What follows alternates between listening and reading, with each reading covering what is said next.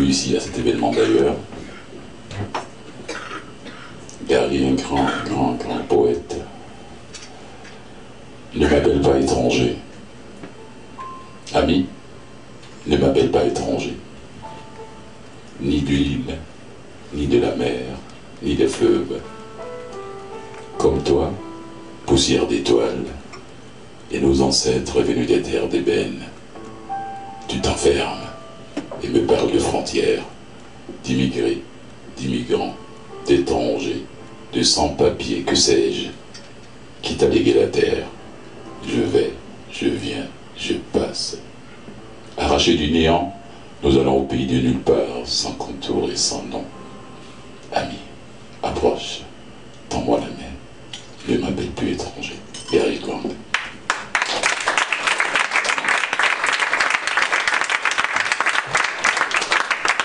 C'est le tour de mon cher Watson. Amoureux de l'écriture depuis et de la poésie depuis sa tendre enfance, il a vécu dans plusieurs pays européens, africains, aux États-Unis avant de venir s'installer ici à Montréal. Ouais, faut pas l'oublier aussi, c'est un producteur, il est directeur artistique du label Evolution. Mesdames et messieurs, on accueille chaleureusement Gatson.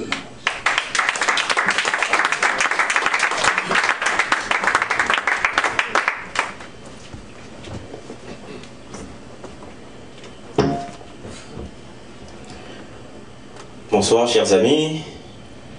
On n'est pas beaucoup aujourd'hui, mais on va quand même essayer de garder la chaleur euh, à son paroxysme au niveau de la poésie. Donc avant de commencer, j'ai un service à vous demander.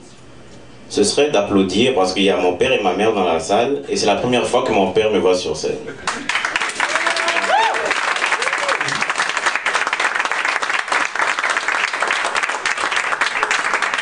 Habituée, on va dire, mais mon père c'est la première fois. Donc euh, je vais partager deux textes avec vous.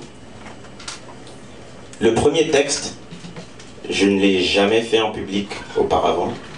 C'est la première fois. Euh, pourquoi? Je ne sais pas vraiment. C'est un texte qui m'a été difficile de, retenir par cœur parce qu'au niveau de l'écriture, j'ai essayé d'être assez, assez, complexe. Donc peut-être que je n'osais pas. Et comme je ne voulais pas le lire pour essayer de véhiculer l'émotion nécessaire, ben, je pense que je n'osais pas me lancer avec ce texte, mais ce soir je vais essayer. C'est un texte qui a été écrit à une époque de ma vie où je traînais parmi des gens qui, qui n'avaient pas d'avenir, ou du moins qui, eux, ne voulaient pas se donner un avenir. Donc des gens qui traînaient dans la rue, qui traînaient sur les, les bancs de leur quartier. Et euh, donc ça vous met un peu dans le contexte.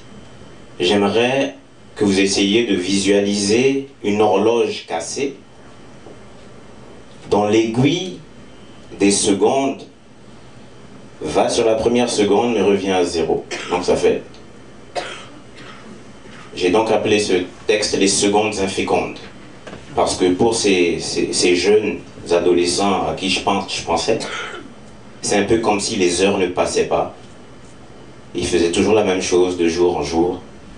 Et donc euh, la vie n'avançait pas pour eux. Donc j'écoute les tics de la montre. La fin des temps est proche, dit-on. Donc, dans mon antre, j'assiste au décompte des heures, des minutes et des secondes infécondes. Les jeunes de notre ère excellent dans l'art de ne rien faire.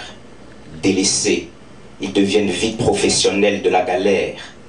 Et les taux se resserrent sur ces contributeurs à l'effet de serre. Jour après jour, leurs joints empoisonnent de fumée l'atmosphère. Et pendant qu'on attend, le temps aussi prend son temps, et on s'attend à un signe sauveur du Tout-Puissant.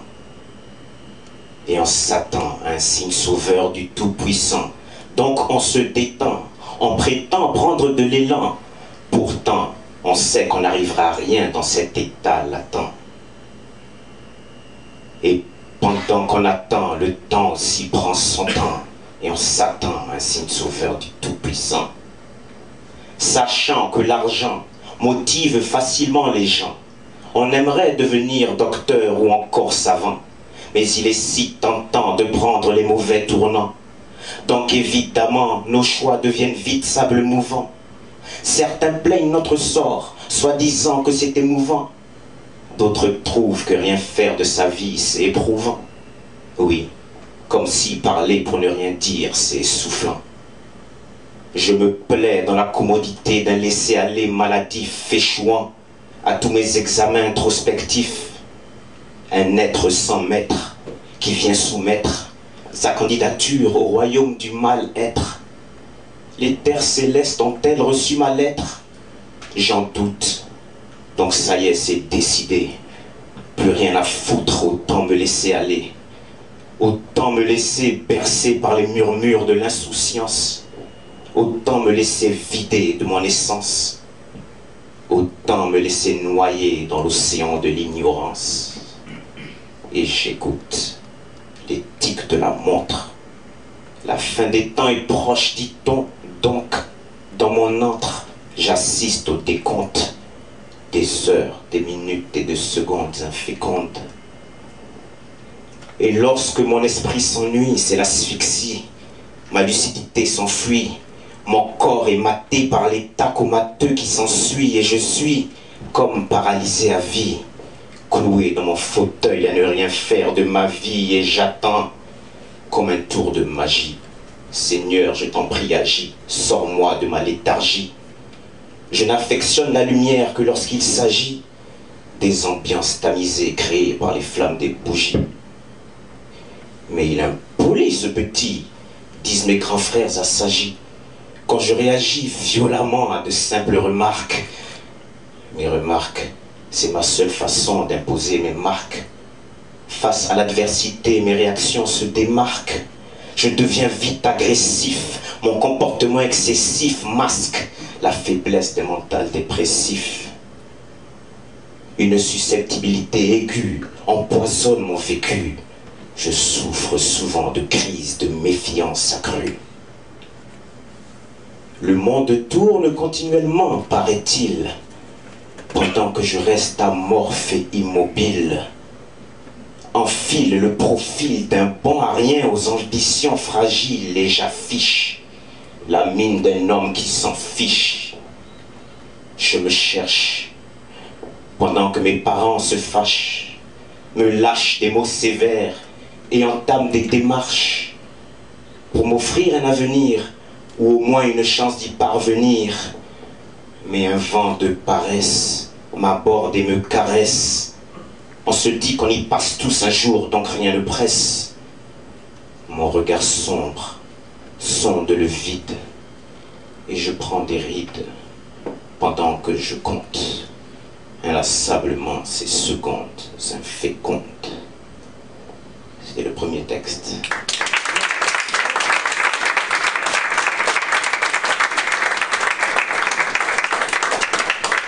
Le deuxième texte est un peu euh, moins sombre.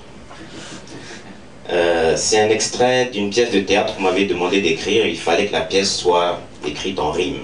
Donc euh, j'ai partagé un extrait avec vous. C'était sur la diversité.